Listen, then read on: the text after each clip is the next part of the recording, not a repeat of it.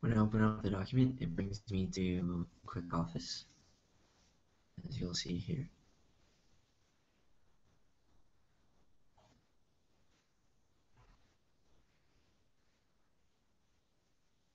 And now I can save the document within Chrome.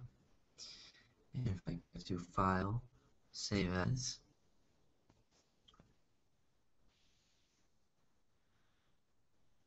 and then click Save.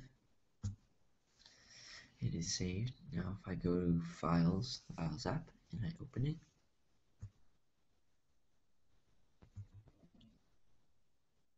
it opens up a new tab with nothing there. So I'm not sure what to do. And this is in guest mode, so I have no extensions enabled, nothing.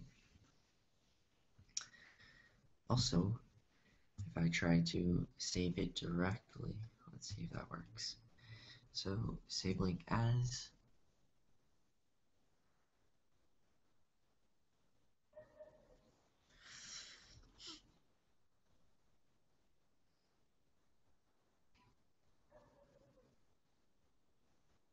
Okay. So I save it as a doc. Let's see if I open it up, what happens.